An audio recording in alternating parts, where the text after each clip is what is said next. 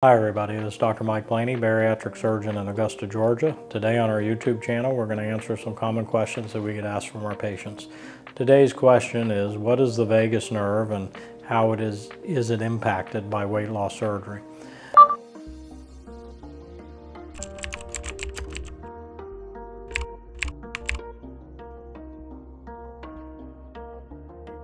The vagus nerve is a nerve that comes from the brain stem. There are 12 cranial nerves and the vagus nerve is one of those 12 cranial nerves.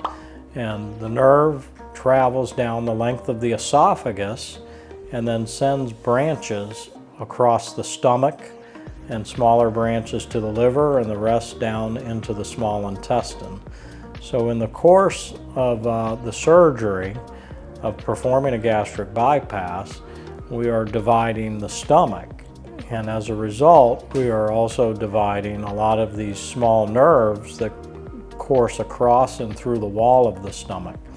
Now the vagus nerve is a sensory nerve, meaning it provides sensory input back to the brain, and it's also a motor nerve that provides motility to the GI tract.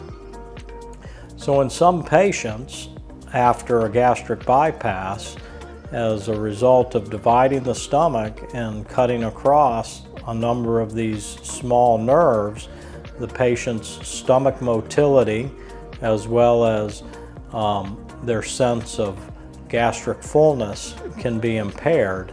And this can result in a complex array of symptoms that patients perceive after surgery such as overly full, or nausea or food intolerance, you know, even diarrhea or changes in their bowel movements.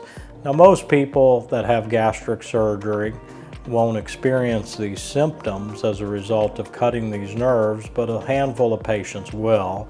And unfortunately, this is just one of the side effects associated with um, gastric surgery and weight loss surgery in particular, or at least the gastric bypass.